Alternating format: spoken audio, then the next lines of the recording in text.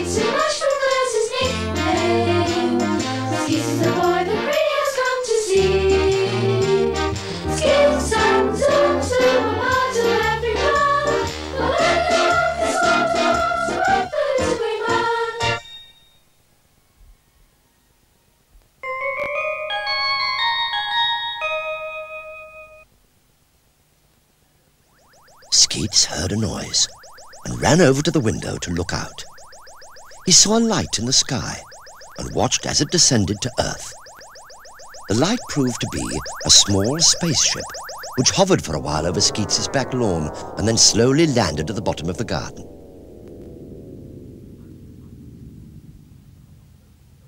Out of the spacecraft popped a little roly-poly green figure, followed by a flying fluffy yellow ball. Skeets ran down the garden to meet the strange little man on the fluffy yellow ball, both of whom seemed very friendly. Hello, said Skeets. Who are you? Where have you come from? said the little roly-poly figure, which meant, well, I've come from a great way off to talk to Sidney Keats. Is that your name? Skeets found that he could understand perfectly. Yes, he replied, I'm Sidney Keats, but my friends usually call me Skeets. Skeets is my nickname. May I come inside your house and talk to you, Skeets? asked the little man. I've come a long, long way to see you. Of course, said Skeets. But what do I tell my mum if she sees you? said the little green man. Don't worry. You're the only one who can see or hear me. No one else. Wow! exclaimed Skeets. Wait till I tell my friends all about you and the way your spaceship landed. Said the little green man. Would you mind if we kept it a secret?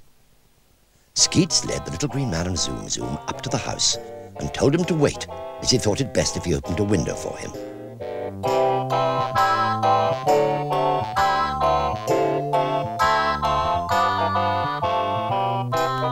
The tubby little man and the fluffy flying ball soon hopped inside, and the little man introduced himself to Skeets properly. Shaking hands with Skeets, he said, which meant, in your language, my name means little green man. Oh, this is my pet, Zoom Zoom.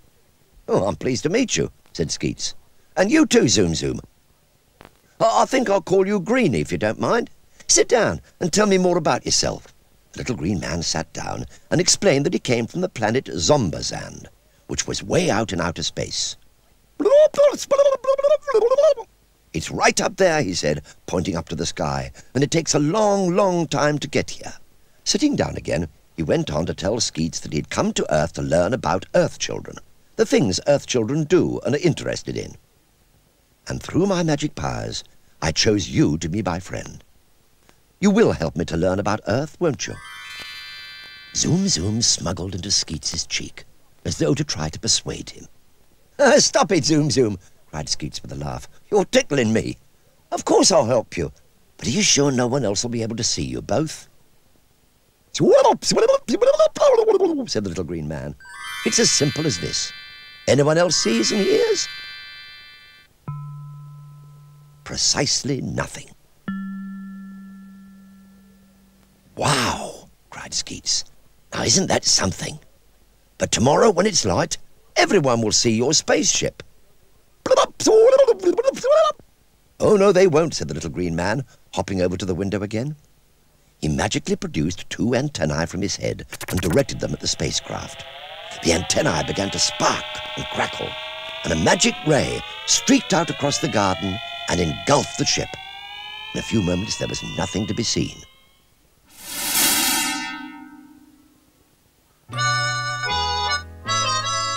Wow, said Skeets again. Can you do absolutely anything? Well, I wouldn't say anything, said the little green man, but I can do a great many useful things. Zoom Zoom has a fair bit of magic power, too, when he decides to use it. Demonstrating his magic powers, Zoom Zoom made his bottom right quarter disappear, then his top left quarter, and so on. The game went on with parts of the little fluffy fellow disappearing and reappearing, and the show seemed very impressive. Until... Oh, dear. Whoops! Where's he gone, asked Skeets. Is he all right? said the little green man. He's a bit of a show-off, and sometimes gets his magic muddled up. Just hang on a minute and see what happens.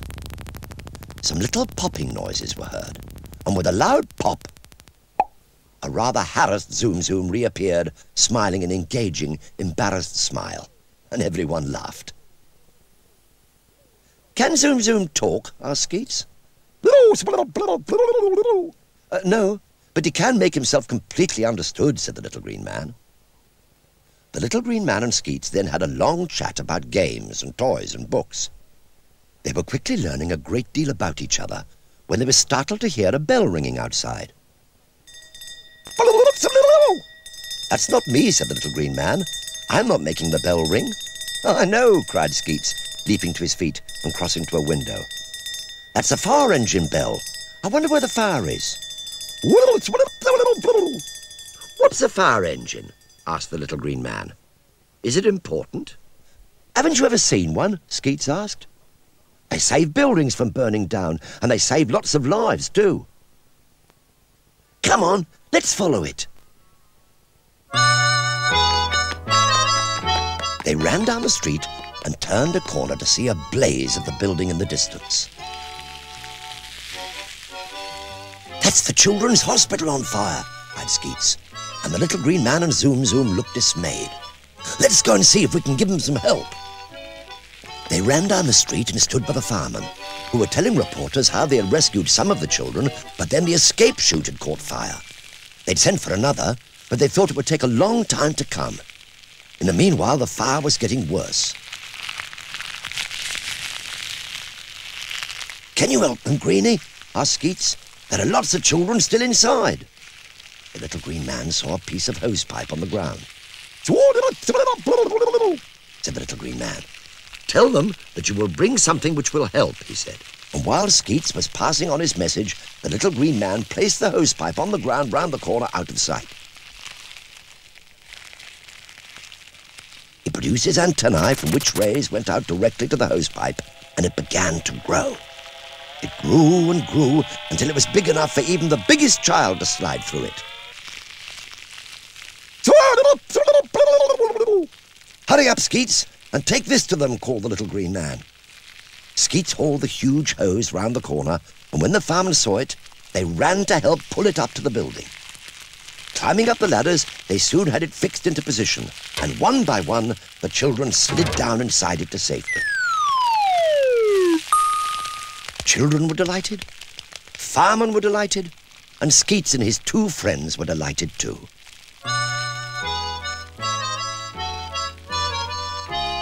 When the children were out of the building, the fireman tackled the blaze and soon had it under control.